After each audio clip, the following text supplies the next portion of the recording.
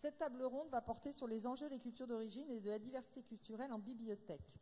Alors, avec une société française de plus en plus diversifiée, culturellement comme socialement, je pense qu'il faut euh, continuer à, réfléchir aussi euh, au public des, bibliothèques en termes de euh, catégories sociales.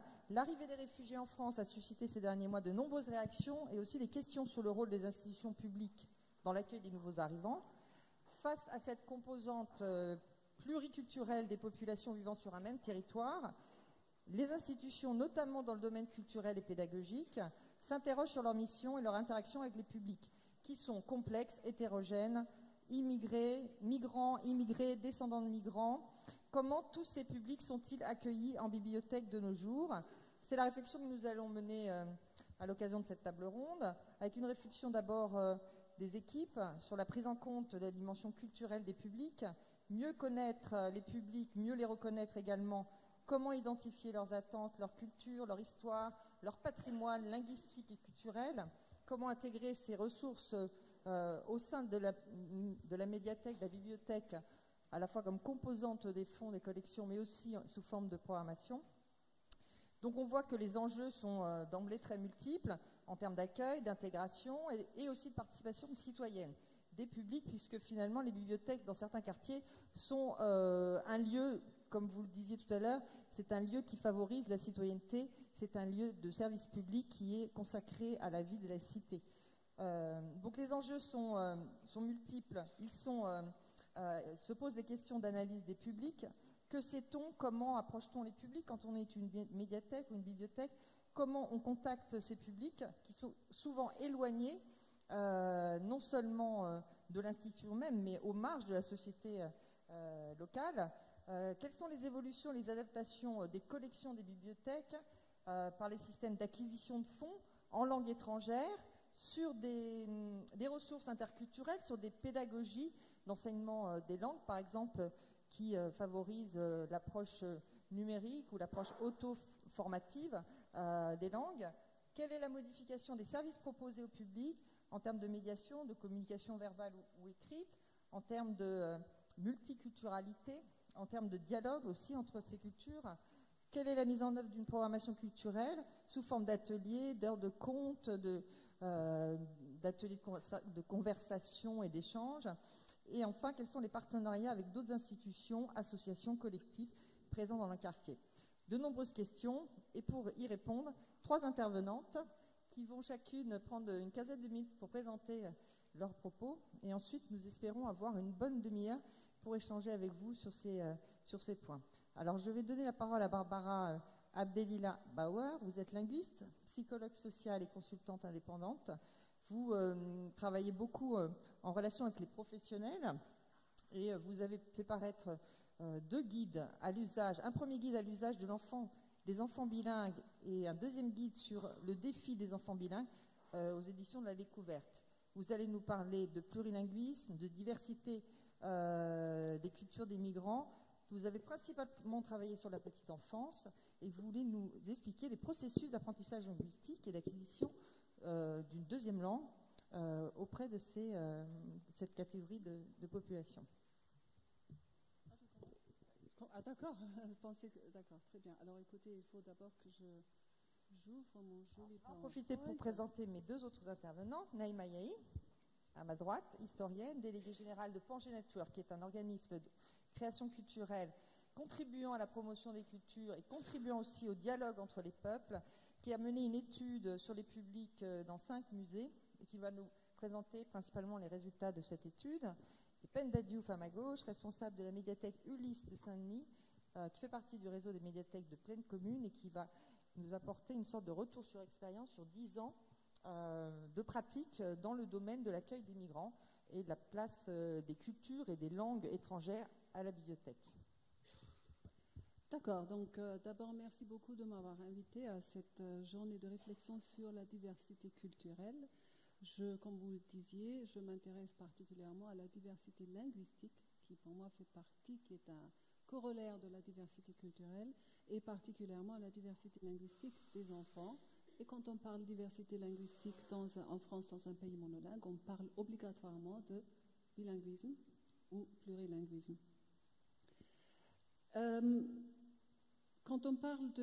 euh, je disais que la diversité linguistique euh, fait partie de la diversité culturelle, tout simplement parce qu'une langue est façonnée par la culture, une culture s'exprime par les langues, et une culture n'existe pas sans la langue. Alors, quand je parle de culture, j'entends ce terme dans le sens anthropologique, bien sûr, c'est la culture avec un grand C, l'art, la littérature, le théâtre, mais c'est aussi cet ensemble de valeurs, de croyances et de traditions, et la langue, ou les langues, qui sont partagées par un groupe d'hommes.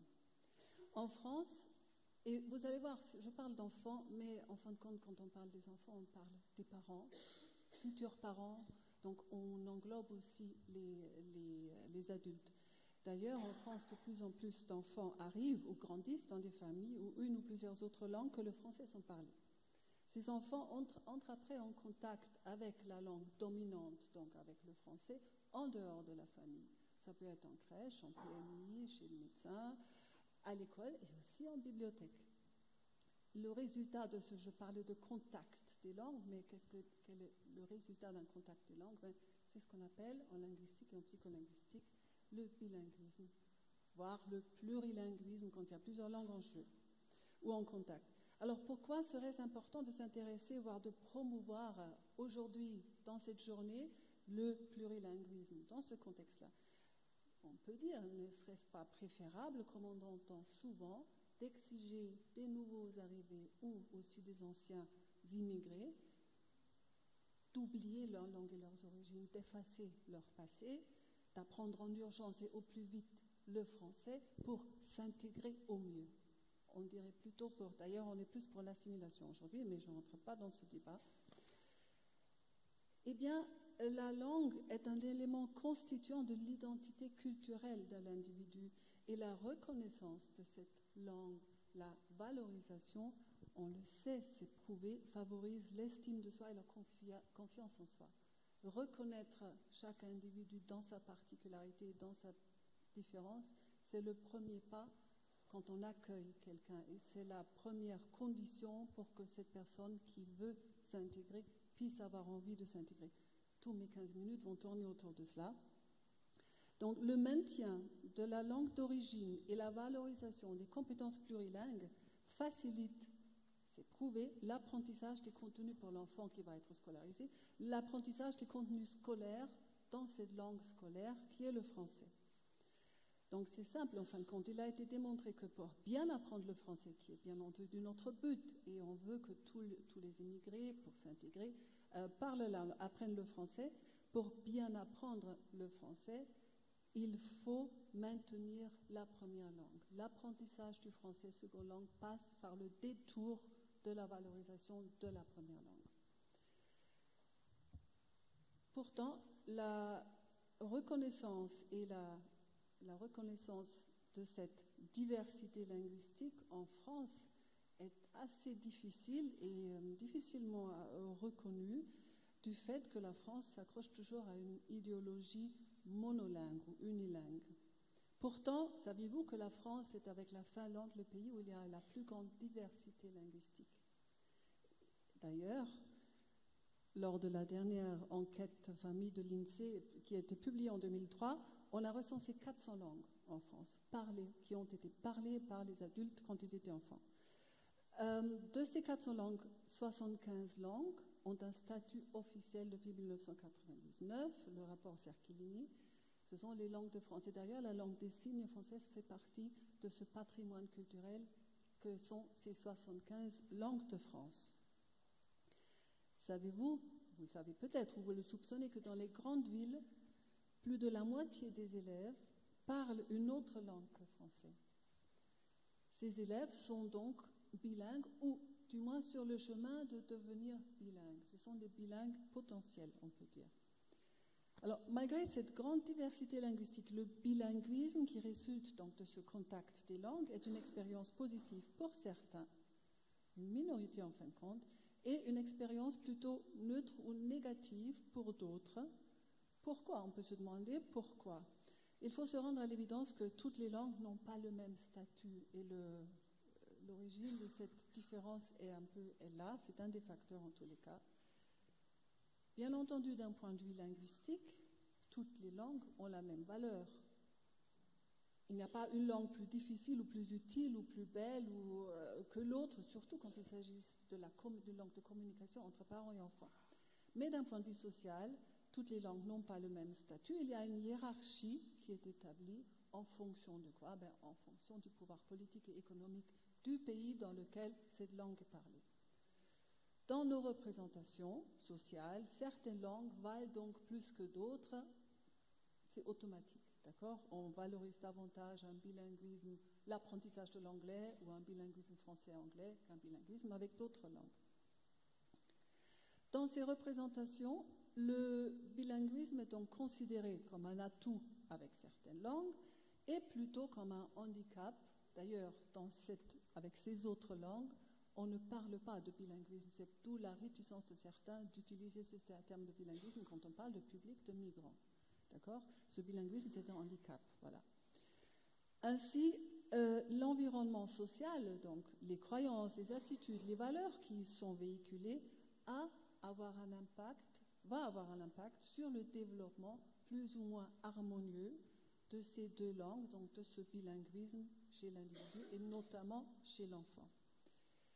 Il est bien entendu plus gratifiant de développer un bilinguisme, comme je disais, français-anglais que français-turc ou français-islandais ou albanais. Pour ceux qui ont vu le match euh, contre l'Albanais hier, l'albanais, français bilingue, français-albanais, à quoi ça sert? Dans notre pays, on a aussi beaucoup de mal avec cette notion de double appartenance. C'est un des, stéréotypes aussi. Comment peut-on être d'ici et de là-bas? Euh, il y a énormément de stéréotypes négatifs euh, qui tournent autour de certaines langues seulement, parce qu'on ne demande pas comment il est possible d'être bilingue français-anglais ou français-américain. Donc, en fonction du statut des langues en contact, il y a de nombreux mythes qui persistent encore et qui sont particulièrement tenaces quand il s'agit de certaines langues qu'on appelle d'ailleurs minorées ou les langues rares. On m'a dit, mais l'arabe, c'est une langue rare. Je ne sais pas. C'est aussi un de ces stéréotypes. Alors, euh, quelques, quelques-uns des mythes euh, rapidement. Euh, vous savez certainement, le bilinguisme précoce entraîne confusion et mélange chez l'enfant, donc c'est extrêmement nocif. Bon, ça repose. Là, normalement, je fais des conférences d'une heure ou des formations de 3 à 6 heures et je détaille bien entendu tout ça. Là, très rapidement, cette affirmation est tout simplement basée sur la méconnaissance des mécanismes d'acquisition du langage. Deuxième mythe, le cerveau est à l'origine monolingue. Donc deux langues à la fois, c'est une surcharge pour le cerveau. Il a, été prouvé que c'est complètement faux. Chose très importante, on, entend souvent, mais ces enfants qui doivent apprendre le français, le temps qu'ils passent à apprendre la langue de leurs parents ou à parler cette première langue, mais c'est du temps perdu pour le français. Il faudrait une immersion totale en français pour que ça rentre plus vite eh bien, juste un, petit détail, on sait que le développement et le rythme d'acquisition de la grammaire dans une langue chez l'enfant monolingue est exactement le même chez un enfant, bilingue qui acquiert deux langues en parallèle. Donc, ce n'est pas du tout vrai. Au contraire, au contraire, je vais vous expliquer pourquoi. Euh, ensuite, on dit le bilinguisme de langue. De langue, c'est un obstacle à l'apprentissage de l'écrit. L'apprentissage de l'écrit et de, la parole, du langage oral, n'a absolument rien à voir. Ce sont des mécanismes totalement différents. Ce qui nous intéresse donc est de savoir comment ces idées fausses-là influencent en fin de compte le développement du langage et l'apprentissage d'une seconde langue. Comment ça peut se faire? Mais là, il faut qu'on s'intéresse au processus de socialisation. L'enfant est socialisé dans un environnement où donc ses valeurs, ses croyances, attitudes prévalent. Alors là, on a, en fonction qu'occupe la place du langage, déjà le fait de parler à l'enfant, de ne pas parler, euh, d'utiliser le langage uniquement dans certaines circonstances, ça va avoir, ce comportement dans la famille va avoir un, un impact sur le développement du langage de l'enfant.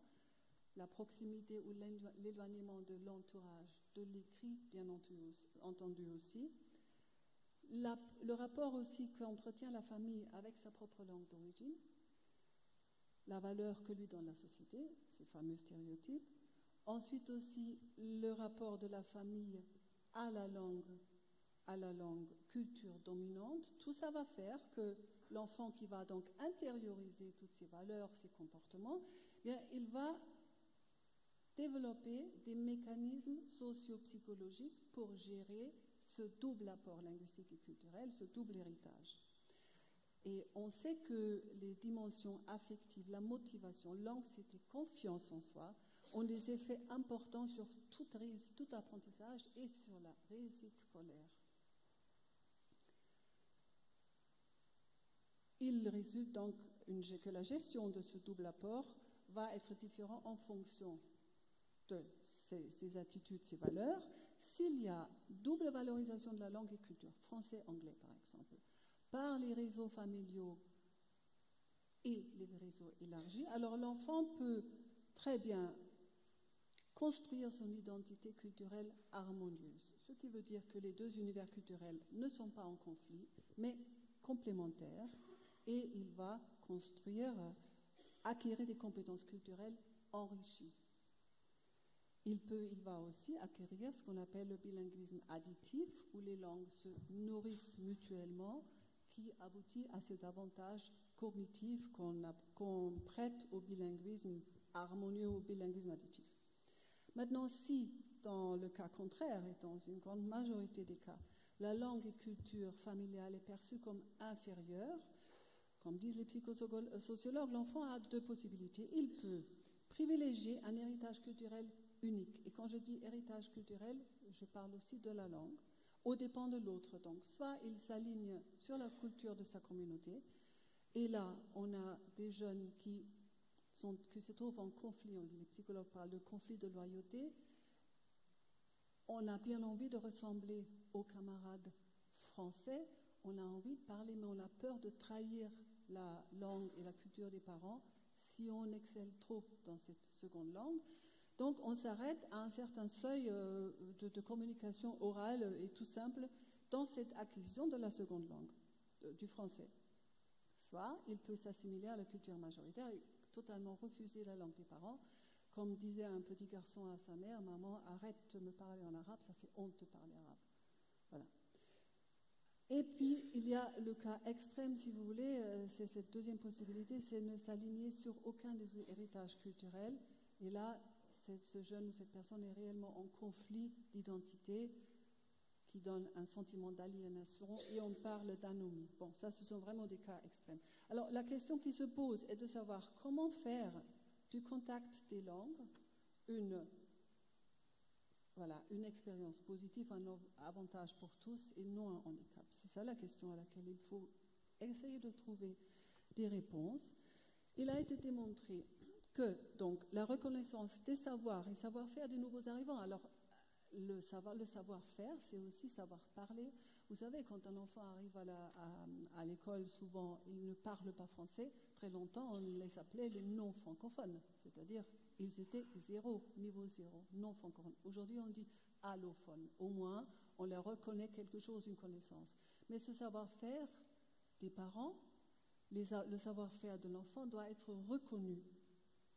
Alors, on sait que cette reconnaissance des savoirs et des savoir-faire améliore, comme je disais tout au début, la confiance en soi, l'estime de soi chez les parents et les enfants. Et quand on est confiant et quand on se sent reconnu dans ce qu'on est, quand on est confiant en ses capacités, on est motivé, on peut aller sereinement vers l'autre culture, l'autre langue, et on, peut, et on est motivé d'exceller aussi dans cette seconde langue. Il faut donc, euh, moi je pense qu'il faut se servir, enfin je ne suis pas la seule, de la langue d'origine qui servirait comme une passerelle vers la langue d'accueil. Et on parle langue d'accueil puisque on accueille les gens différents, les personnes d'origine étrangère. Alors, une manière de valoriser ce savoir-faire, donc ces langues, ce serait, pour les bibliothèques, et vous le faites certainement déjà largement, d'introduire les livres en toutes les langues dans toutes les bibliothèques. L'écrit joue d'ailleurs un rôle essentiel dans ce processus de valorisation, dans ce cercle vertueux, valorisation-motivation, il est établi que pour atteindre ce bilinguisme harmonieux et euh, additif, il faut entrer dans l'écrit. Alors, entrer dans l'écrit nécessite un vocabulaire extensif, concret et abstrait. D'où l'importance. Alors maintenant, si ce vocabulaire est déjà acquis dans la langue maternelle, dans la langue d'origine, il y a un transfert. Le transfert se fait très facilement vers le vocabulaire de la seconde langue. Si ce vocabulaire n'est pas du tout ces concepts, le vocabulaire derrière, il y a des expressions abstraites, il y a des concepts, si ce n'est pas encore acquis dans la première langue, il n'y a pas de transfert qui va se faire. D'où l'importance du livre en langue d'origine pour les enfants. Et au Canada, alors là il y a un E et en trop. Au Canada, par exemple, il y a un exemple, enfin, il, il conseille, au Canada, on conseille à tous les parents de lire, de lire dans la langue d'origine, d'utiliser des livres pour enrichir et augmenter donc les connaissances dans la langue d'origine. Et je termine déjà. Donc euh, le défi pour notre société, c'est au fait, d'une part, de déconstruire ces mythes autour du contact des langues et d'oser parler de bilinguisme et essayer de faire en sorte que tous les enfants puissent accéder à un bilinguisme positif, additif. Pour ceci, il faut valoriser les langues et les cultures des familles en les faisant entrer dans le cadre institutionnel. Et la bibliothèque est un cadre de culture par excellence, une culture française par excellence, mais il faut que les langues et cultures étrangères puissent être reconnues, acceptées dans ce cadre institutionnel, bien sûr aussi à l'école. Ensuite, il serait important d'aider les parents en leur procurant justement du matériel linguistique et en les formant aux techniques de la lecture. On peut peut-être parler tout à l'heure, euh, notamment la lecture interactive. Dans l'association que j'ai fondée il y a dix ans, euh, Café Bilingue, nous travaillons avec les écoles et nous essayons donc de faire en sorte que les langues des enfants entrent dans, les écoles dans le cadre d'une semaine des langues qui, pour notre grand plaisir, a été repris par l'éducation nationale cette année. Il y a eu une première semaine des langues du 9 au 13 mai passé. Voilà, et euh, je vais vous dire merci, et je crois que j'ai fait. Impeccable. Merci beaucoup. Merci.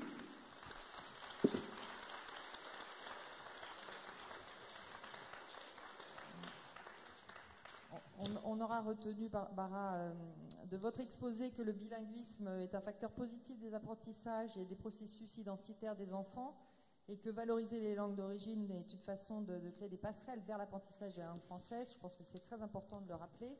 Mais aussi que euh, malheureusement, il y a des différenciations importantes euh, d'ordre culturel et symbolique des langues en France. Et donc les bibliothèques, euh, aux côtés des écoles peut-être, doivent travailler sur ces questions-là. Ce qui nous amène à, à, se poser la question de la valorisation, de la promotion des patrimoines liés aux migrations. Et avec Naïma Yahi, qui est une historienne spécialiste de l'histoire culturelle des migrations en France, qui a contribué et même piloté une grosse exposition que nous avons accueillie ici euh, il y a quelques années déjà sur euh, l'histoire culturelle des Maghrébins en France, on va effectivement se poser cette question-là. Euh, comment effectivement les musées rendent compte de ces patrimoines, alors linguistiques, culturels, enfin très divers, hein, puisque Naïma a aussi beaucoup travaillé sur le patrimoine musical lié aux migrations.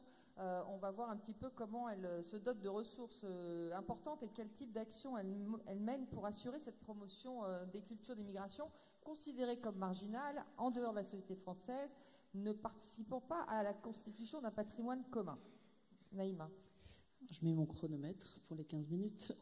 Alors, j'étais très intéressée par votre intervention, madame, parce que si vous parlez de bilinguisme positif, je m'enrichis de cette démarche euh, concernant les langues. Euh, les langues sont aussi des objectifs quand on fait l'histoire de l'immigration et quand, particulièrement dans le cas qui, est le mien, quand on s'intéresse à l'histoire culturelle qui englobe la vie artistique, mais pas seulement, puisque l'histoire culturelle s'intéresse aussi aux supports que sont les livres, les disques et d'autres, euh, j'allais dire, véhicules culturels que vous avez dans vos établissements. Alors, mon intervention va se scinder en deux. D'une part, mon action en tant qu'historienne et directrice d'association qui produit des contenus que vous accueillez dans vos bibliothèques, qui sont des outils euh, d'autant plus euh, démultipliés euh, au service de cette question des publics, des publics d'origine étrangère ou français héritiers de cette histoire de l'immigration mais aussi du grand public qui n'a pas forcément des origines étrangères, mais qui s'enrichit d'une histoire plurielle, d'un roman national renouvelé qui fait sa place à des populations qui sont dans notre pays depuis longtemps. Je crois que vous avez abordé la question du temps long avec des intervenants ce matin, et le, musée en est la preuve.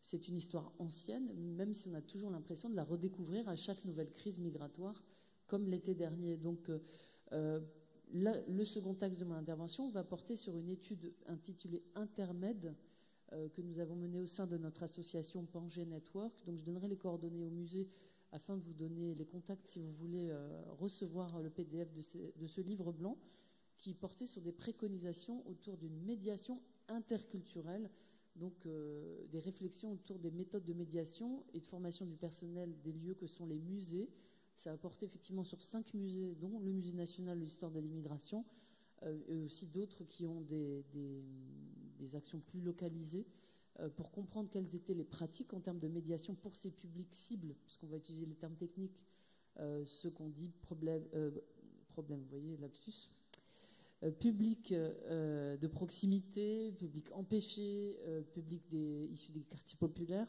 et à l'intérieur de ces publics, les publics immigrés et leurs enfants, euh, qui posent des questions effectivement de la, diversité culturelle, la question de l'offre culturelle et, d'accessibilité à cette offre et de l'inclusion de ces populations euh, dans la médiation classique des établissements euh, concernés. Sur mon action en tant qu'historienne et directrice d'association, effectivement, j'ai eu le plaisir d'être commissaire d'une exposition dédiée à un siècle d'histoire culturelle des Maghrébins en France dans cet établissement dans ces toutes premières années je crois que c'était la deuxième ou troisième exposition du musée. Il faut savoir que c'était déjà nouveau euh, au niveau du musée en France de mettre en espace une histoire de l'immigration, qui plus est quand on parlait d'histoire culturelle pour une narration sur l'histoire de l'immigration qui souvent est un point aveugle. On ne parle pas de culture, on ne parle pas des langues, on ne les entend pas, on ne les lit pas, euh, puisque c'est peut-être aussi euh, l'histoire propre de notre pays, cette, cette centralité de la langue française, même si ça évolue et que la reconnaissance des langues de France, dont font partie l'arabe, le berbère et d'autres, langues, le yiddish. Et donc la question euh, qui se pose ici, c'est qu'on parle dans le cadre franco-français. Il ne s'agit pas de, parler de transnationalisme avec les pays d'origine ou les voisins européens. Il s'agit de parler d'une situation franco-française, ce qui est votre cas dans vos bibliothèques. Vous n'avez pas forcément les outils pour promouvoir une connaissance, par exemple, des, euh, écrivains euh, euh, étrangers de langue française. vous n'avez pas forcément les outils pour parler de chansons de France, mais dans des langues vernaculaires. J'ai eu le plaisir de diriger une compilation de musique autour des chanteurs maghrébins qui se sont produits, qui ont enregistré et diffusé leur musique depuis la France des années 30 aux années 70. Je sais que certaines bibliothèques le proposent dans leurs discothèques mais c'est ce type d'outils euh, qui sont nombreux. Hein. Il y a d'autres euh, chercheurs, d'autres euh, intellectuels, même d'autres artistes qui ont proposé, par exemple, des disques, des livres, des films qui pourront garnir les étagères de vos établissements. Et je sais que vous êtes très proactifs sur ces questions. Mais si les outils n'existent pas, vous avez du mal à les proposer, nous sommes d'accord. Donc nous, on est de l'autre côté du miroir, on essaye de synthétiser, de donner à voir, à entendre, à connaître euh, des choses qui se sont passées dans notre pays, mais qui sont méconnues. Je vous donne un exemple. J'ai travaillé avec la, hum, discothèque de l'Institut national de l'audiovisuel, parce que celle-ci a des archives extraordinaires d'émissions de radio de l'ORTF, euh, d'entretiens euh, radiophoniques ou autres, des opérettes par exemple, dans des langues d'origine euh, qui ne sont pas diffusées dans les éditions de l'INA. Et pourquoi elles ne le sont pas? Pas parce qu'ils ne veulent pas, mais parce qu'ils n'ont pas les, connaissances, euh, ne serait-ce que de qui parle, de, quoi s'agit-il. Ils n'arrivent même pas à décrire les, fiches d'autorité de leurs archives sur ces 78 tours d'émissions en arabe ou en kabyle qui ont été enregistrées à l'époque dans les années 50, 60 sur les antennes de l'ORTF à destination à l'époque, on disait, des publics indigènes. Donc ces productions qui existent, qui sont des archives. On a le même phénomène à la Bibliothèque nationale de France. Moi, je vous parle toujours du cas particulier des Maghrébins parce que c'est ma spécialité, mais vous pourriez avoir la même conversation avec des historiens spécialistes euh, des Italiens ou d'autres communautés, des Suisses. On a comme ça des traces patrimoniales, euh, musicales, intellectuelles, et autres qui sont présentes, par exemple, dans les archives photographiques du ministère de la Culture, dans les archives sonores de l'Institut national audiovisuel, au dépôt légal de euh, la Bibliothèque nationale de France, mais qui ne sont pas intelligibles euh, et qui du coup ne sont pas diffusés et qui n'arrivent pas jusqu'à vos établissements. Et cette question de l'inclusion, ou en tout cas de l'estime de soi des populations bilingues, pour certaines communautés d'origine étrangère, on peut retrouver un lien avec ces problématiques sur la question du patrimoine, de ces patrimoines de France. Je n'ai pas dit français, j'ai dit de France. Parce que, par exemple, ces chanteurs euh, euh, russes des années 20 qui enregistrent à Paris, euh, dans les cabarets de Pigalle, ces chanteurs kabyles qui enregistrent chez Pathé Marconi ou Columbia dans les années 50, ces écrivains pour lesquels on a plus d'accès puisqu'ils écrivent en langue française, mais d'autres, euh, des dissidents chiliens qui euh, publient euh, de manière clandestine ou dans des maisons d'édition militantes. On a comme ça des, corpus, j'allais dire, qui irriguent notre patrimoine et qui ne sont pas connus, mais qui émergent grâce au travail de militants, d'associations ou de chercheurs qui, à la fin, produisent des supports qui peuvent être des outils pertinents pour les publics. Ça, c'était pour euh, euh, la dimension, euh, en tout cas, de production d'outils qui peuvent nourrir votre travail de médiation. L'autre aspect de mon intervention, et je vais un peu vite pour laisser la place au débat, c'est que cette étude, donc Intermed, n'a pas porté sur des bibliothèques, mais sur des musées. mais, j'allais dire, embrasse des problématiques qui sont aussi celles souvent de vos établissements, notamment en termes de propositions de programmation culturelle, de, mise à disposition des collections ou d'animation autour de ces collections. Alors, je n'utilise pas forcément les bons vocabulaires, je ne suis pas spécialiste des bibliothèques, mais simplement dire, puisque j'ai le plaisir de, souvent intervenir dans des médiathèques auprès de, ces publics, euh, certaines préconisations de l'étude pourraient peut-être être mises en débat et, considérées dans, cette matinée d'échange autour justement d'une inclusion de ces publics. Donc ce que nous avons appelé la médiation interculturelle, euh, c'est de dire par exemple, nos habitus en matière de médiation s'appuient sur des repères euh, culturels, intellectuels, euh, visuels, linguistiques, qui sont euh, ethnocentrés.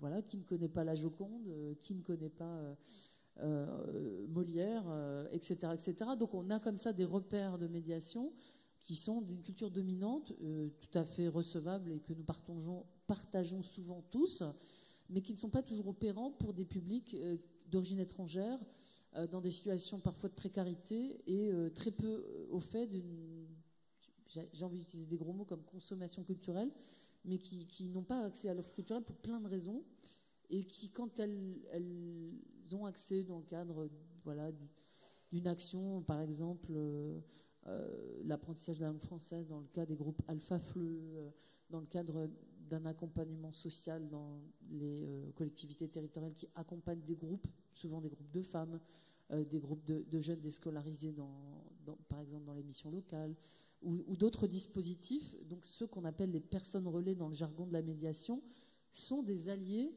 pour permettre une inclusion de ces publics euh, dans une médiation plus pertinente et qui permettrait peut-être, on peut rêver, une, une fréquentation et en tout cas un, usage plus fréquent de ces populations des outils, des équipements et, de l'offre culturelle qui existe à proximité. Euh, donc euh, la première préconisation, ça a été l'évaluation des outils de mise en place de médiation.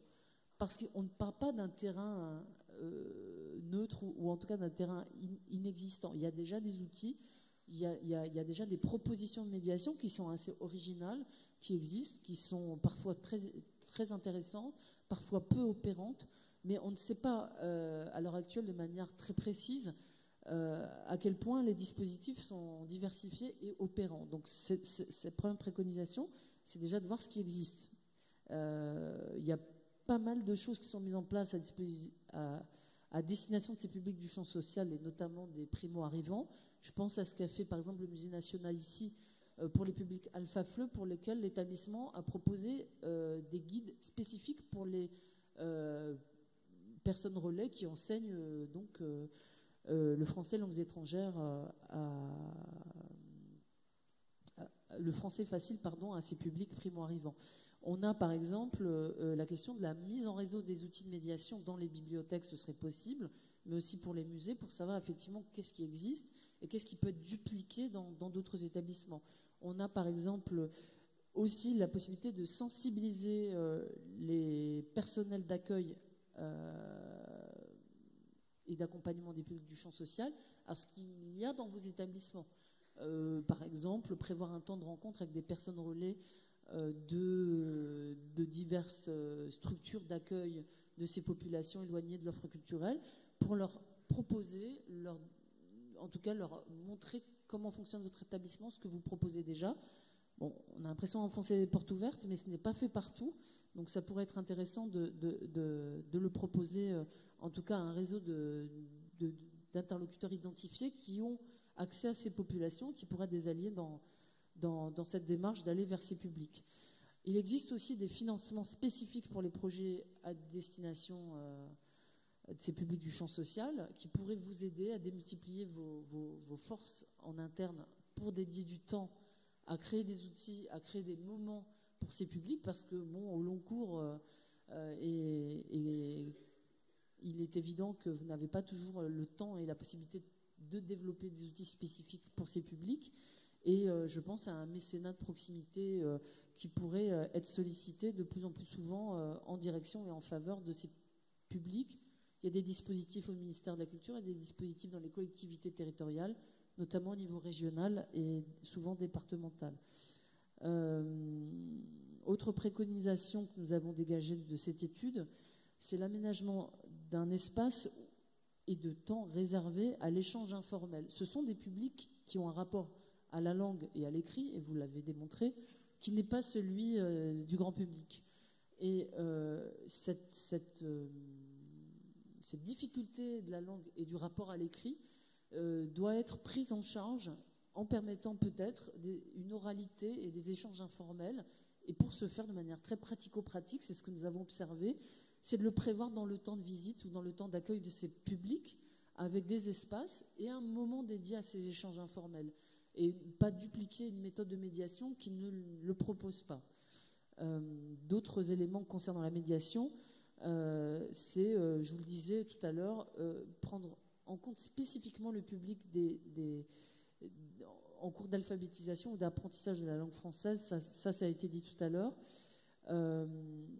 et peut-être aussi impliquer un certain nombre de, personnes déjà de l'établissement qui auraient des compétences particulières, parce que dans une autre vie professionnelle, elles auraient été par exemple, éducateurs ou éducatrices, par exemple, enseignants, par exemple, elles auraient travaillé dans le cadre euh, d'un service d'action sociale d'une collectivité territoriale, et voir par rapport aux ressources humaines de l'établissement qui serait celui ou celle qui serait l'interlocuteur privilégié des personnes relais. Parce que ce qui est ressorti de cette étude, c'est qu'il était plus pertinent de dédier une personne spécifiquement comme interlocuteur à l'extérieur sur cette question du public du, champ social, que pourrait être par exemple un, centre social, un service d'action sociale, un, centre de formation euh, qui prend en charge les primo-arrivants, etc. Ils ne savent pas toujours être aiguillés quand ils sollicitent un établissement culturel, que pourrait être la bibliothèque, le musée ou autre. Et en, termes euh, d'outils, euh, nous en avons parlé euh, sur cette capacité à mettre en synergie des outils déjà existants. Il serait aussi tout à fait pertinent, du coup, d'avoir un annuaire regroupant ces personnes référentes. je ne connais pas les réseaux des bibliothèques, mais j'imagine que vous avez déjà des outils de, ce type pour savoir. enfin, peut-être je m'avance, mais en tout cas, par rapport à, à ce que vous avez, vous, en termes de, mise en réseau de, vos actions, euh, peut-être inclure cette dimension du public du champ social euh, euh, dans la mise en avant des coordonnées des personnes référentes dans vos établissements. Et enfin, j'irai vite pour, ne pas trop m'attarder sur mon intervention. Peut-être dans le cas de la formation professionnelle des personnes de vos établissements, c'est ce que nous on a préconisé pour les musées, euh, proposer une formation spécifique à destination des, personnels d'accueil et de surveillance des établissements muséals et en l'occurrence peut-être des bibliothèques qui n'ont pas toujours aussi un savoir-faire en termes d'accueil de ces populations qui ne sont pas elles-mêmes habituées euh, à fréquenter un musée, une bibliothèque. Je vous donne un exemple. Euh, on a ressenti une certaine réticence et parfois des problèmes assez poussés parce que on, arrive avec un groupe et bon, la pratique de ces lieux-là, donc ils ne savent pas, par exemple, que dans un musée, on ne parle pas à voix haute, on ne touche pas aux œuvres, etc., etc. Donc il s'agit simplement de leur expliquer de ne pas se braquer sur ces détails qui peuvent être très logistiques mais euh, qui peuvent donner des situations de tension assez fortes. Euh, on a eu des cas un peu compliqués d'expulsion de visiteurs euh, dans des musées de type Louvre, musée d'Orsay, etc. même enfin voilà, des, personnes qui n'étaient jamais venues dans un musée, qu'on a tout de suite perçues comme étant des troubles faits ou des, des troublions, en tout cas des gens qui n'étaient pas à leur place. Donc c'était la parole du surveillant contre celle des visiteurs et du personnel relais qui était avec elle. Et on voit tout de suite que de part et d'autre, il y a besoin d'expliquer, il y a besoin d'expliquer euh, voilà, comment ça se passe dans cet espace-là, etc.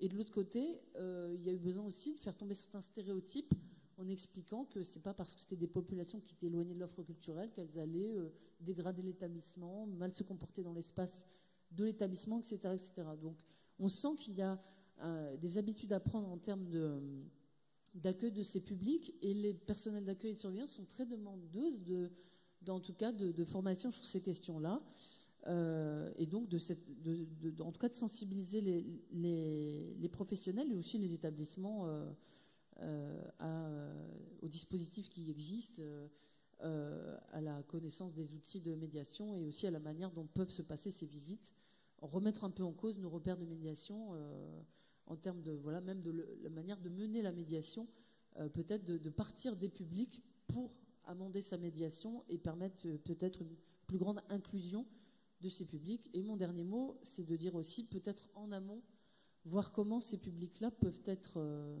impliqués dans la programmation des établissements. C'est ambitieux, je ne vous le cache pas, mais peut-être dire, bah, écoutez, peut-être sur un cycle de projection de films, sur un cycle de rencontres sur un cycle d'animation, peut-être avec un, deux ou trois groupes, euh, réfléchir avec euh, leur personnel relais, euh, à savoir quelles seraient leurs envies, leurs demandes, pour qu'effectivement elles soient plus incluses dans la proposition qui est faite. Et, bien sûr, travailler sur le temps long avec ces groupes. Il ne s'agit pas de démultiplier le nombre de groupes, mais plutôt de les suivre sur au moins une saison, si je peux parler de saison pour les bibliothèques, permettant voilà, une, d'éprouver en tout cas l'accès à l'offre culturelle sur un temps long. Voilà, j'étais bavard, donc je m'arrête là. Merci.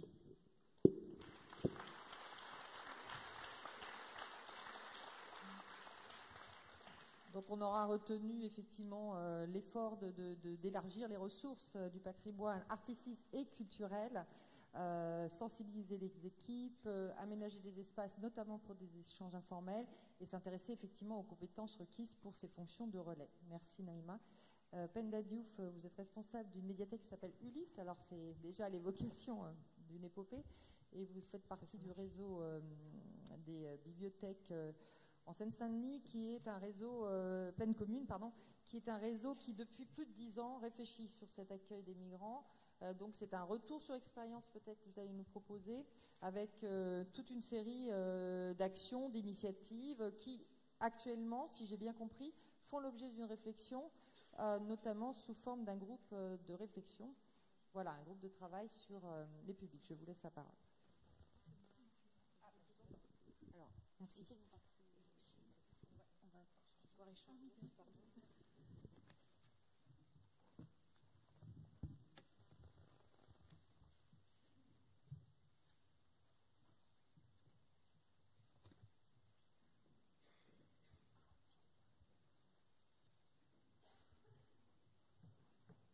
Bonjour à tous. Je vous remercie euh, tout d'abord pour cette invitation et euh, pour la richesse des, euh, des interventions précédentes.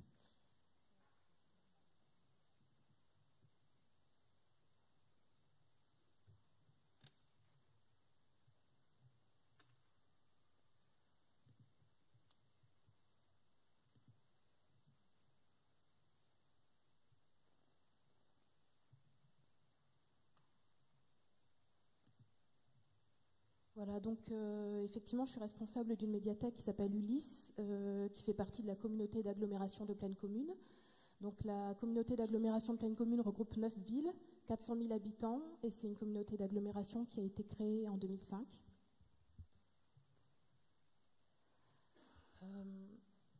Alors sur cette diapositive, vous pouvez voir euh, euh, la, proportion en fait de Français euh, de naissance habitant sur le territoire de pleine commune, à savoir 57%, avec un total d'étrangers de 29% et des Français par acquisition qui représentent 14% de la population. Alors lorsqu'on dit français, lorsqu'on dit étranger, ça a été précisé tout à l'heure, mais ce sont des personnes qui n'ont pas la nationalité française.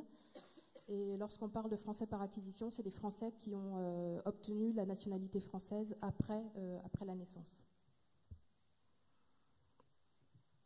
Donc il y a 134 nationalités qui se côtoient sur le territoire de pleine commune. J'habite moi-même un quartier à Aubervilliers où il y a plus de 160 langues qui se côtoient. Donc il y a une diversité euh, culturelle qui est très riche et qui est très importante. Alors, je ne l'ai pas précisé, pardon, mais euh, ces chiffres en fait viennent du euh, sont pardon sont issus d'un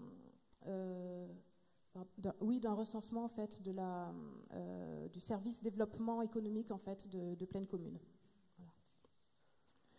Donc je vais commencer en fait par vous présenter les collections, puis vous parler des animations et des services qui ont été mis en place dans, dans les médiathèques. Alors en jeunesse, toutes les médiathèques du réseau de pleine commune sont, euh, bénéficient en fait d'albums en langue étrangère. Alors aujourd'hui, ça représente 5428 imprimés qui sont dans différentes langues.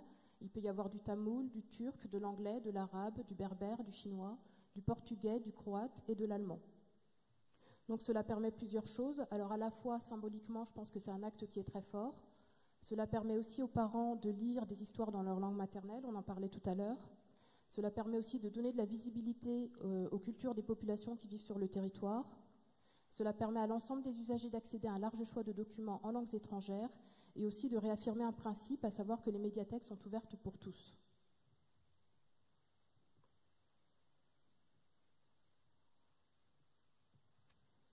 pour les collections adultes, Pardon, euh, oui, ce que je voulais préciser, mais ça a déjà été dit euh, tout à l'heure, c'est que les apprenants euh, qui se retrouvent en situation de bilinguisme additif réussissent davantage que ceux qui ont subi une dévalorisation de leur culture ou de leur langue d'origine par l'école ou par la société. Ça, a déjà été précisé. Concernant les collections pour adultes, tout support confondu, il y a 6900 documents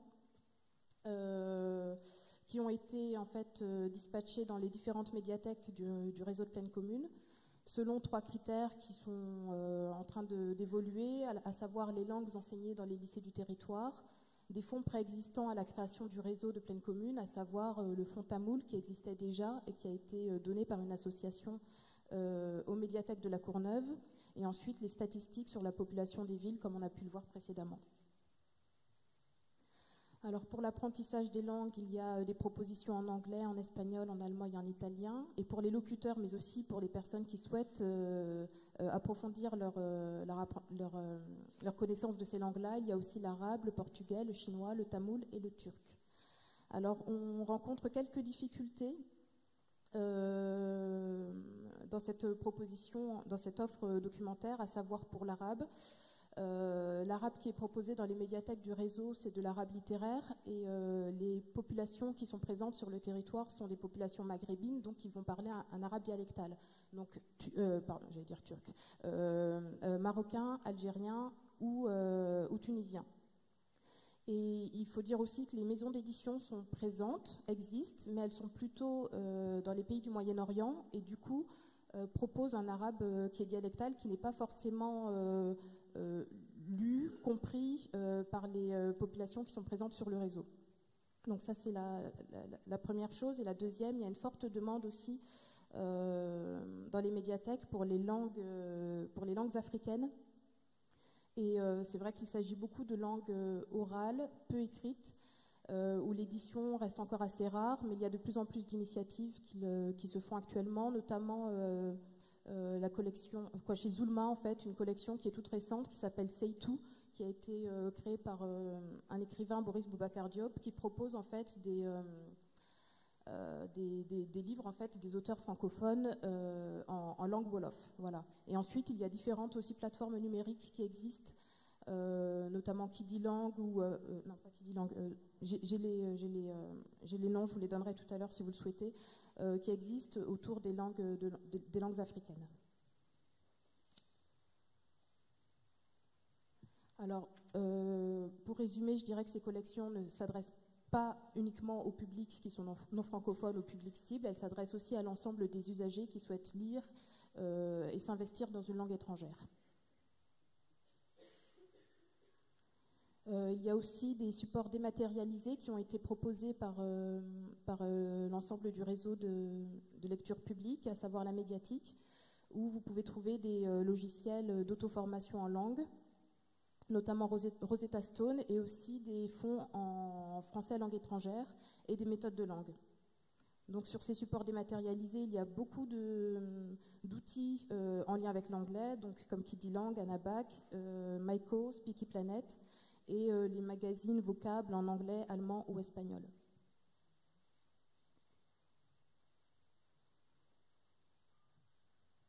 Euh, alors euh, il est intéressant d'avoir des fonds en langues étrangères, mais il est aussi intéressant de pouvoir communiquer sur ces fonds et pouvoir donner l'information au public intéressé. Donc, euh, différents flyers en fait ont été traduits en six langues, à savoir l'anglais, l'espagnol, le chinois, l'arabe et le, le, portugais et le tamoul. J'en ai quelques exemples ici que vous pourrez feuilleter si vous le souhaitez. Voilà. Alors, par exemple, vous avez celui-là. Vous avez celui-là aussi en tamoul.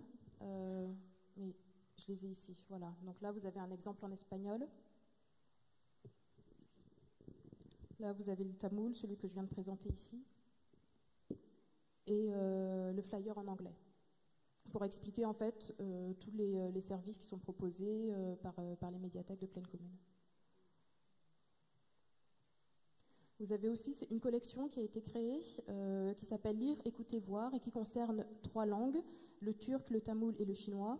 Donc il, se scinde en deux parties. Il y a une partie catalogue qui présente les documents du fond des, médiathèques et il y a aussi une partie regard avec des portraits des, euh, habitants. J'en ai aussi un exemplaire que vous pourrez feuilleter si vous le souhaitez et qui est là. Donc là, c'est en langue turque.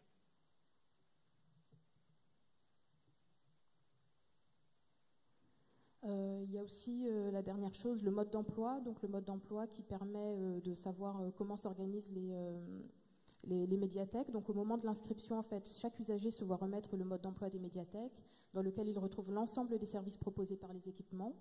Et ce mode d'emploi été traduit en deux langues, l'anglais et le chinois. Donc je dois avoir un exemplaire en anglais et en chinois aussi. Voilà.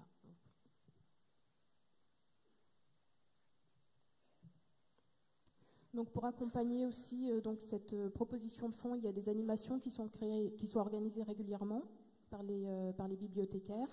Donc il y a eu des temps forts organisés autour du lancement des plaquettes Lire, Écouter, Voir, notamment à Aubervilliers, autour, de la, autour du, chinois.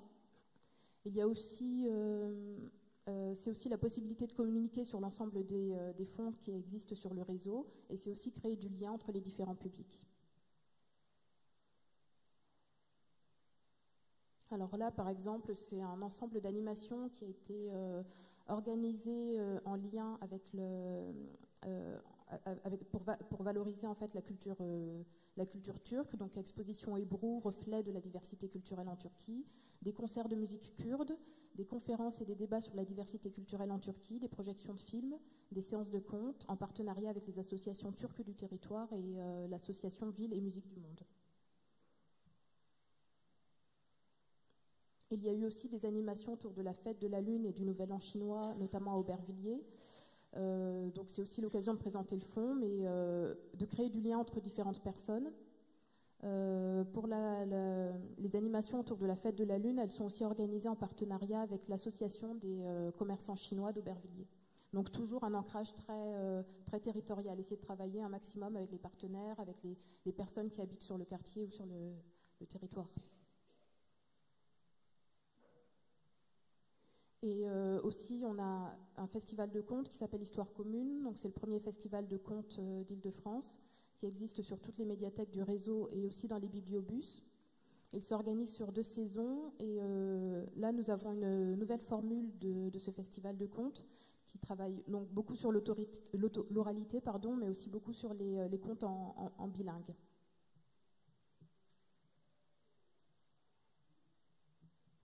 Pour les différents services euh, qui, peuvent être proposés en médiathèque, on en a déjà évoqué quelques-uns précédemment. Il y a effectivement, bien sûr, les visites de médiathèque avec les groupes constitués. Donc, euh, il, s'agit de présenter les services en fait en partenariat avec des associations de quartier et il y a aussi la présentation des fonds FLE, de la médiatique et des autres ressources documentaires. Et bien sûr, euh, comme vous le disiez tout à l'heure, essayer de, trouver des moments un peu... Euh, euh, essayer d'avoir des moments en dehors en fait de ces moments officiels de visite pour discuter voilà, de façon un peu informelle. Il y a aussi les ateliers de conversation. Donc c'est permettre la, conversation en fait en langue française dans les médiathèques du réseau, mais toujours de façon conviviale, essayer de, voilà d'avoir des moments d'échange. Alors ces ateliers de conversation se font toujours en partenariat avec des associations. Alors là, c'est la médiathèque Ulysse justement où je travaille, euh, et l'atelier de conversation se fait avec l'association Femmes du Franc-Moisin. qui est une association qui travaille beaucoup sur l'insertion des femmes primo-arrivantes.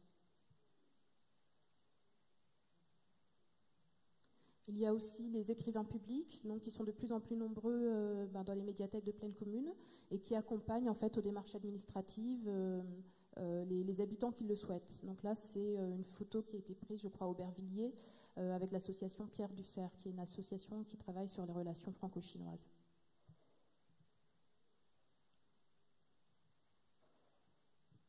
et, dans cette idée de d'accompagner les publics. Il y a aussi à la fois accompagner les publics, mais aussi accompagner les agents, c'est ce qu'on disait tout à l'heure. Euh, donc un volet formation en fait a été euh, organisé pour donner une meilleure visibilité, une meilleure connaissance en fait des publics, euh, pour adapter l'offre documentaire et pour réaliser des animations de qualité. Donc il y a eu, nous avons des matinées de formation thématiques qui s'appellent les experts, où on demande en fait un, un expert en fait de venir nous parler de, certaines choses en lien avec, euh, l'actualité des, médiathèques.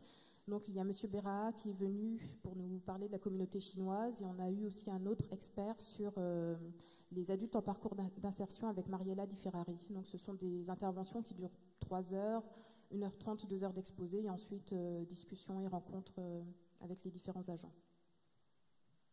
Alors là, c'était des formations théoriques. On a eu aussi des formations pratiques, notamment pour les ateliers de conversation avec Marie-Claire Nassiri, euh, qui se sont déroulés sur trois jours. Donc la première, sensibilisation pour mettre en place des activités contextualisées et interactives autour de la, communication orale.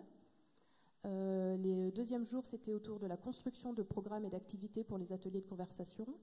Et enfin, le troisième jour, un retour d'expérimentation, euh, réajustement si besoin, discussion, formalisation. En conclusion, je dirais que si la légitimité de tel service n'est pas à remettre en cause, elle peut faire l'objet parfois de réticences. Alors euh, l'importance des partenariats est dans ce cadre-là essentielle pour développer des services de qualité et instaurer bien sûr un, climat de confiance. Il est donc nécessaire d'user de pédagogie et de développer des compétences spécifiques pour un accueil bienveillant, avec une politique assumée et volontariste, sans assignation, ce qu'on disait tout à l'heure, mais au plus près des besoins des publics concernés. Et ce que je n'ai pas précisé, c'est qu'il y a eu tout un travail euh, par un, groupe euh, sur accueillir dans les médiathèques de pleine commune, avec la réalisation d'un carnet de bord. Et euh, dans ce, cadre-là, en fait, un groupe a été, a été créé qui s'appelle le groupe Langue maternelle pour travailler sur la question des langues. Donc j'ai été chef de projet sur ce groupe qui va intégrer un groupe un petit peu plus large qui s'appelle le groupe service, avec tous les services euh, qui peuvent être euh, euh, mis en place pour les publics éloignés des, médiathèques et des lieux de culture. pour terminer, voilà, je voulais terminer avec un, un proverbe arménien qui dit Autant tu connais de langues, autant de fois tu es un homme. Voilà, merci.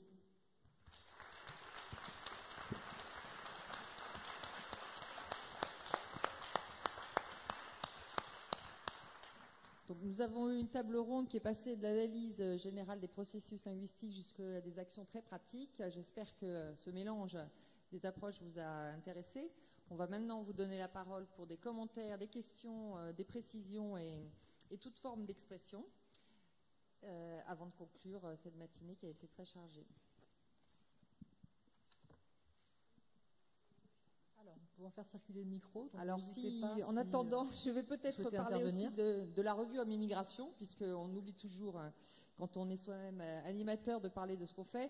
La revue Homme Immigration a produit beaucoup d'ouvrages, de, numéros euh, sur des questions qu'on a abordées ce matin. J'en veux pour preuve euh, un numéro sur les langues et migrations qui a été fait en partenariat avec la DGLFLF, qui chaque année avec nous euh, en novembre organise une journée d'études sur la thématique migrer d'une langue à l'autre.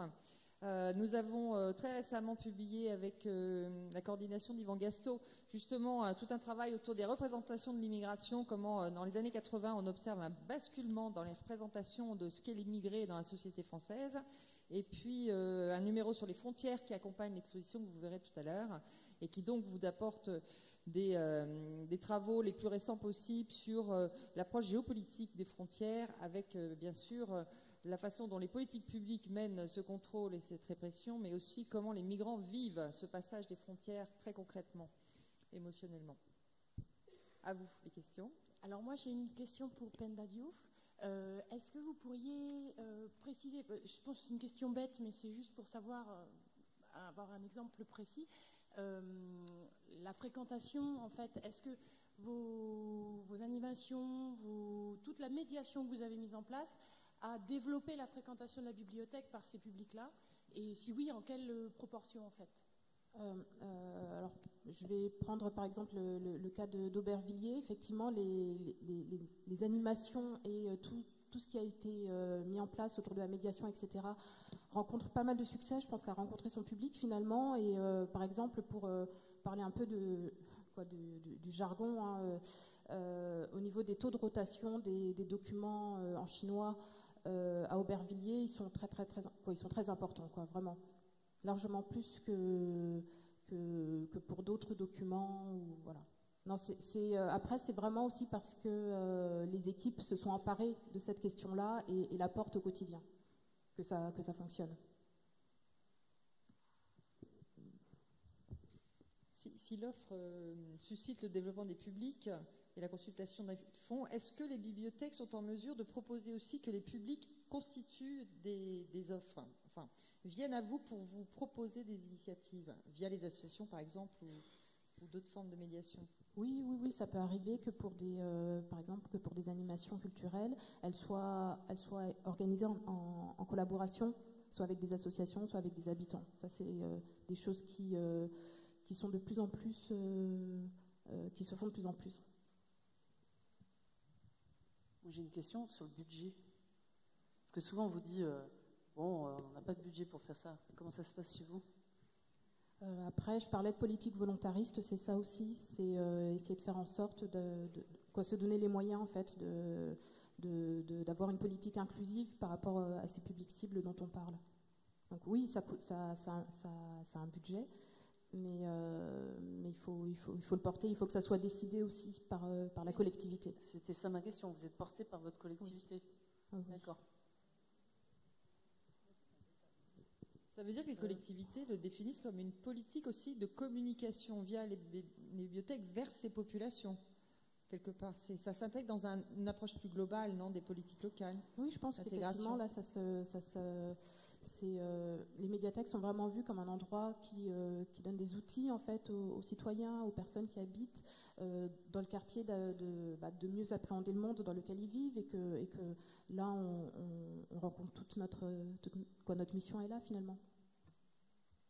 Je voudrais savoir, est-ce que vous rencontrez que des que, publics de migrants appartenant à des associations ou des publics migrants venant d'ailleurs Est-ce que c'est seulement sous cette forme d'association que vous les recevez? Non, euh, pour les inscriptions, on peut avoir des personnes euh, qui viennent tout juste d'arriver. Par exemple, il n'y a, pas longtemps, j'ai fait une inscription pour une dame qui venait du Kenya, qui venait seule, sans, sans, sans partenaire derrière finalement. Alors après, c'est à nous aussi de rediriger. Si on, la personne nous, nous, pose des questions et qu'on n'a pas, on n'a pas toutes les ressources nécessaires, on peut la rediriger vers, vers les services compétents. Mais en tout cas, pour les inscriptions, effectivement, il y a des personnes qui viennent sans, D'accord. Seul, en fait. Ce que j'aimerais savoir, c'est est-ce que vous mettez en place des ateliers de conversation justement pour ce public-là, bien défini Alors, euh, les ateliers de conversation, en fait, sont ouverts à tous. C'est-à-dire qu'on euh, passe par une euh, association, mais qu'il y a aussi des publics, euh, des, des, personnes seules qui viennent spontanément participer aux, aux ateliers. Oui. D'accord.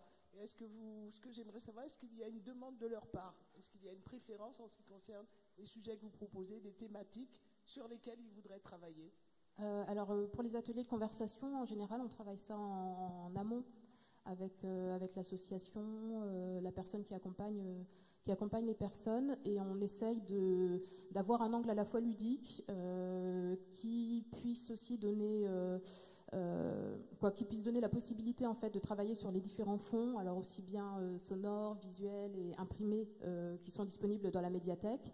Et après, ça se, ça se, travaille en amont. Mais oui, si les personnes souhaitent travailler sur une thématique en particulier, on, peut travailler sur cette question-là. D'accord. Et vous arrivez à les fidéliser ou pas?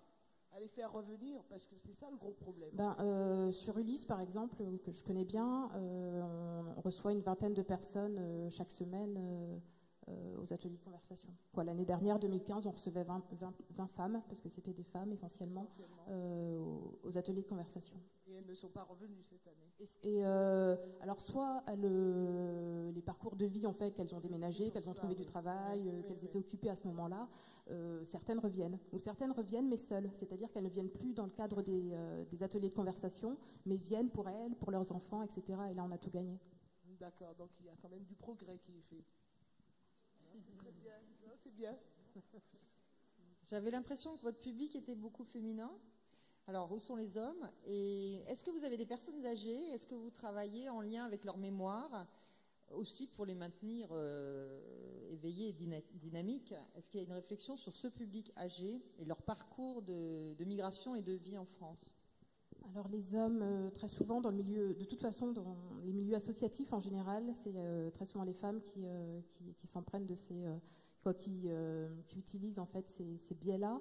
les hommes, on les voit, on les voit moins souvent, mais on a quand même des hommes qui viennent en médiathèque, notamment. Bon, alors là c'est dans un autre cadre, mais des petits déjeuners par exemple par enfant qu'on organise. On a très souvent des pères qui, accompagnent leurs enfants.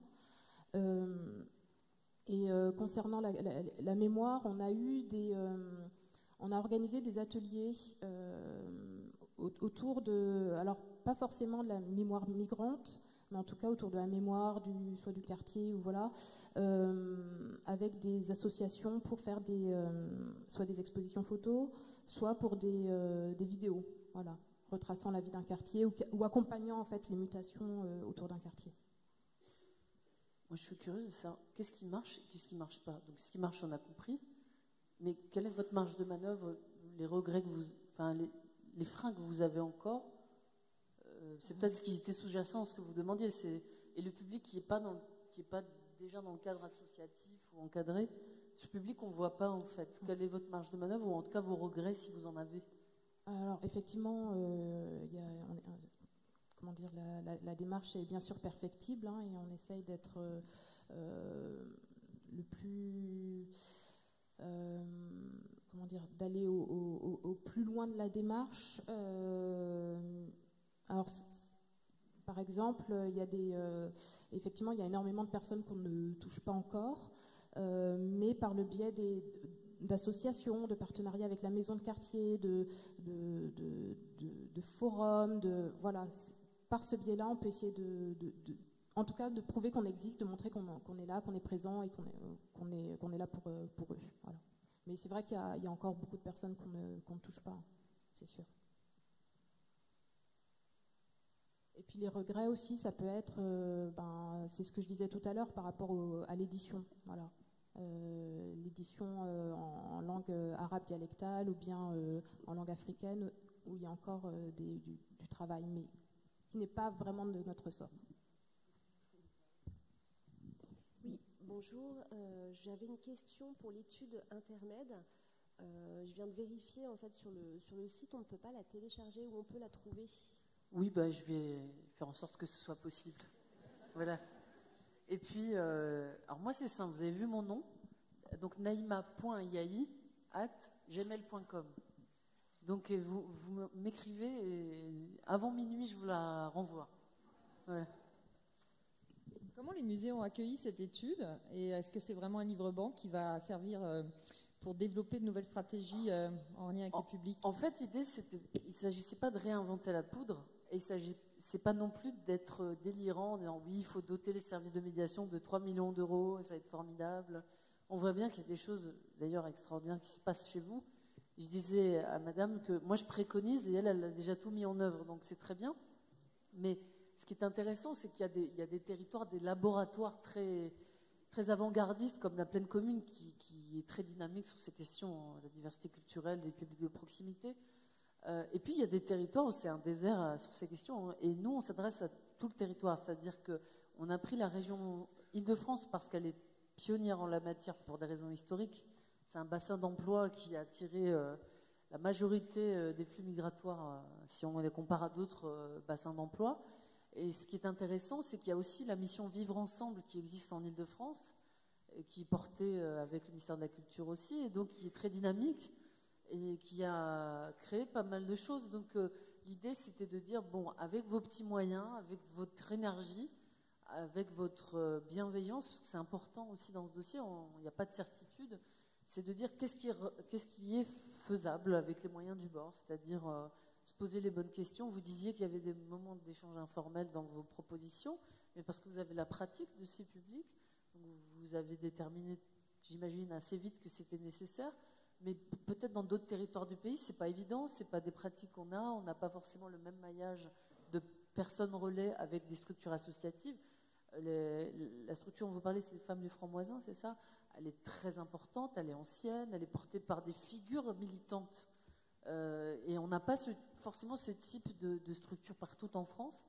Et donc l'idée, voilà, c'était de dire, par rapport à une expérience qui est très francilienne avec des musées nationaux. En fait, on a fait l'Institut du monde arabe, le Musée national d'histoire de l'immigration, la Bibliothèque nationale de France, parce qu'elle a un service dédié à la question et qu'elle a aussi des expositions et une offre de programmation. Et ensuite, un musée euh, de type local qui est le musée de Saint-Denis, qui a des collections archéologiques, puis une programmation euh, plus importante et qui a une pratique aussi, euh, comme, comme vous, euh, de ces publics. Et l'écomusée du Val-de-Bièvre, parce qu'il y a des écomusées aussi qui sont euh, à l'avant-garde de certaines propositions de médiation, d'exposition et de travail avec les habitants. Et l'idée, c'est de dire, voilà, il y a des expériences qui sont menées. par exemple, le musée national est assez pertinent sur les publics alpha-fleu et a déjà proposé des choses.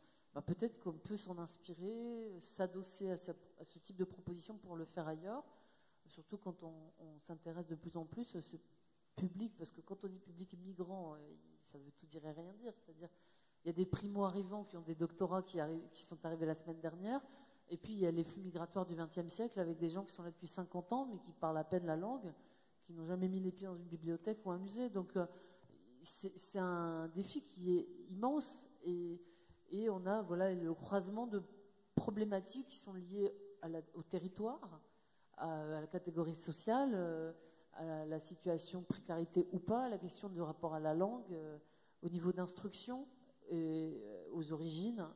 Donc, et puis dans quel projet ça s'inscrit quand on apprend, quand on est dans un cours d'alphabétisation, parce qu'on est obligé de le faire, parce qu'il y a un contrat d'accueil et d'intégration qu'on a signé, on se retrouve pendant quelques mois, on va dire, public captif. Mais après, ils disparaissent dans la nature. Donc comment travailler avec ce public-là qui vient d'arriver, qui, va peut-être disparaître, qu'on va plus retrouver dans les propositions? Et à côté, il y a des publics qui sont là depuis longtemps, j'ai presque envie de dire depuis toujours, et qui sont dans des dispositifs d'accompagnement et avec lesquels on peut travailler sur le long terme, parce que ce n'est pas une histoire de contrat d'accueil intégration, c'est dans un projet euh, d'insertion sociale, d'accompagnement, et c'est vrai que c'est beaucoup de femmes. Et, euh, la question des hommes se pose, hein, la question du genre euh, se pose, la question des générations se pose. Quid de leurs enfants, quid de la question du quartier. Vous parlez des projets histoire-mémoire des quartiers, c'est quelque chose sur lequel je travaille beaucoup. Et il y a aussi des productions qui sont intéressantes.